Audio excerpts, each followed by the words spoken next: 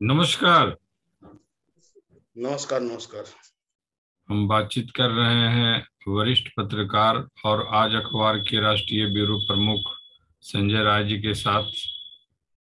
राहुल गांधी और मीडिया के बीच में भी द्वंद्व चल रहा है। उनका कहना है कि जो राष्ट्रीय चैनल्स हैं या राष्ट्रीय जो अखबार वगैरह हैं वो उस तरह से उनको प्रमोट या उनकी यात्रा को नहीं दिखा रहे हैं।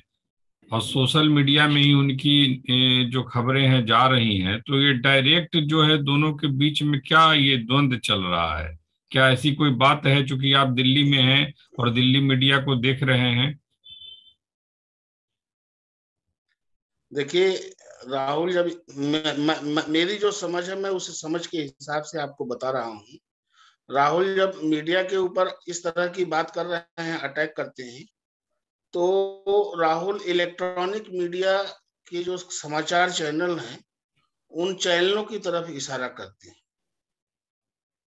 और जहाँ तक प्रिंट मीडिया की बात है, प्रिंट मीडिया को अगर राहुल दोष दे रहे हैं, मैं ऐसा मानता हूँ कि वो नहीं दे रहे लेकिन अगर वो दे रहे हैं तो ये उनकी गलत फहमी है। क्योंकि प्रिंट मीडिया को लिखने से आज तक किसी ने रोका नहीं है। इलेक्ट्रॉनिक मीडिया में हो सकता है और जहाँ तक मेरी जानकारी है, मैं कांग्रेस बीट कवर करता हूँ। कांग्रेस बीट कवर करने वाले इलेक्ट्रॉनिक मीडिया के पत्रकार जो हैं, उन्होंने वहाँ के मीडिया डिपार्टमेंट में भी कई बार स्वीकार किया है कि उनकी खबरों को जो है, दबा दिया जाता है। कोई भी सत्ताधारी दल उसका प्रयास हमेशा यही रहता है। मीडिया और आ, सरकार के बीच जो संबंध है वो कुत्ते बिल्ली जैसा होता है। तो सरकार का प्रयास यही होता है कि उसके खिलाफ खबरें न प्रसारित होने पाए। इसके पहले भी सरकारें करती थी ये पहली बार नहीं हो रहा है। इसलिए सरकार अपना खुद का एक प्रसारण तंत्र बना करके रखती है जो आकाशवाणी और दूरदर्शन सरकारी खबरें उधर रहती हैं। लेकिन जो प्राइवेट मीडिया है, मेरा ऐसा मानना है कि अगर आपकी बात में दम है और आप कुछ बात बोल रहे हैं, एक राष्ट्रीय स्तर के नेता हैं तो आपकी बात को अगर हम नहीं छापेंगे, मीडिया नहीं छापेगा तो अखबार बिकेगा भी कैसे? सवाल तो यही निष्पक्षता दिखनी चाहिए। अगर मान लो वो पक्षपात होने का आरोप लगाते हैं जिस अखबार के ऊपर लगा रहे हैं, वो अखबार भी उनकी खबर को हंड्रेड परसेंट छापता ही छापता होगा। इसमें तो कोई दो राय नहीं है।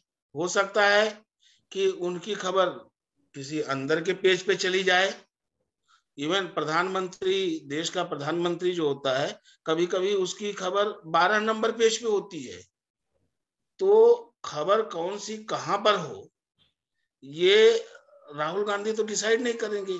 ये तो जो पेज मेकर है और जो एडिटर है, वो लोग डिसाइड करते हैं ना।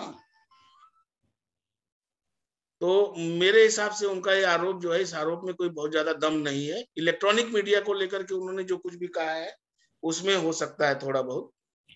तो इलेक्ट्रॉनिक मीडिया भी अगर इतना, अगर वो इतना बड़ा इवेंट है तो क्या उसे नहीं करना चाहिए?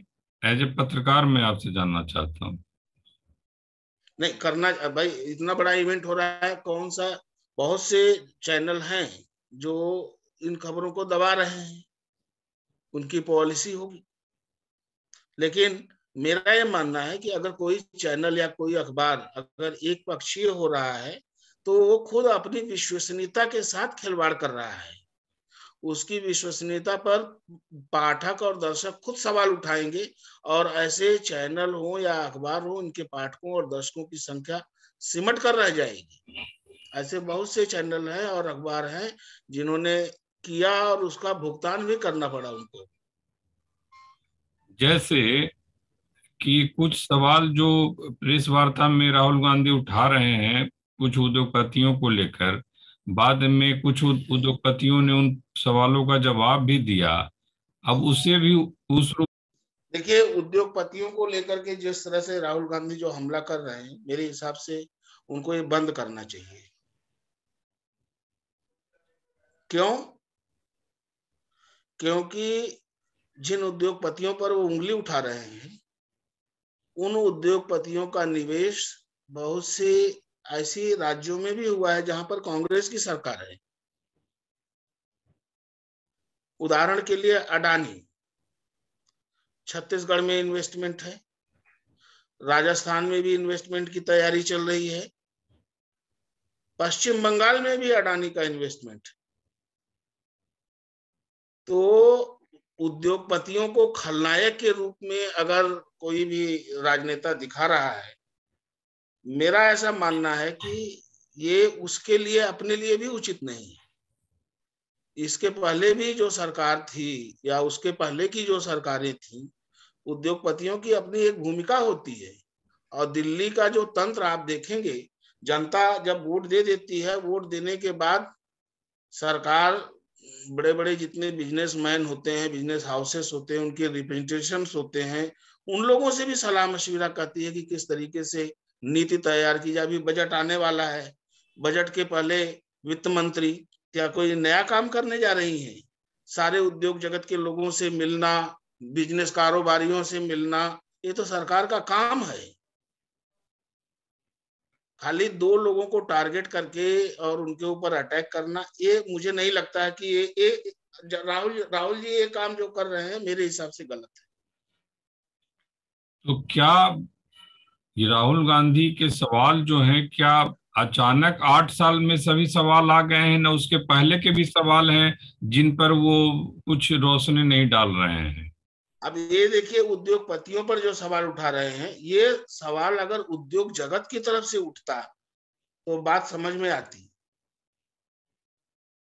ये सवाल अगर उद्योग जगत के लोग उठाते, या टाटा हुए बिरला हुए, ये लोग उठाते कि भाई हमारे साथ भेदभाव किया जा रहा है, हमको नहीं, तब बात समझ में आती। कोई राजनीतिक दल और वो भी देश के सबसे बड़े दो उद्योगपति जो है जो करोड़ों अरबों रुपए का बिज़नेस उनका चल रहा है लाखों लोगों को रोज़गार दिए हुए हैं उनके उनको हटाएँगे क्या ये? जीत जाएँगे तो क्या इनको देश से बाहर निकाला जाए? इस पर जवाब दे सकते हैं? कांग्रेस तो पार्टी इस पर जवाब नहीं दे सकती। ये सीधा जो मीडिया पर आरोप लगा रहे हैं तो उसके बारे में आप क्या कहेंगे?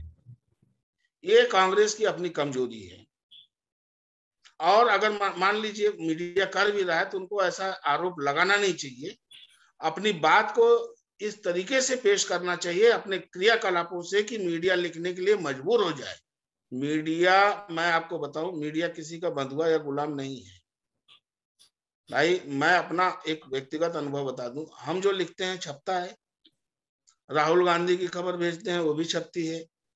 और बीजेपी की खबर भेजते हैं, वो तो छपती ही छपती है, चलो सरकार की है, वो छपनी ही है। लेकिन राहुल गांधी की खबर को काटना, पीटना या उसको एडिट कर देना, ये भी नहीं होता है हमारे यहाँ। हम जो लिख के भेजते हैं, वो खबर छपती है।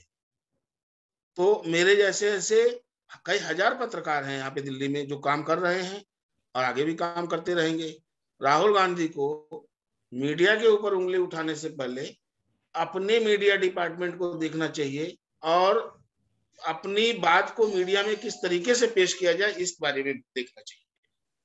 तो क्या उनके मीडिया उनके मीडिया डिपार्टमेंट जो बोल रहे हैं? जो उनकी मीडिया डिपार्टमेंट देख रहे हैं क्या वो सही सवालों को नहीं उठा पा रहे हैं?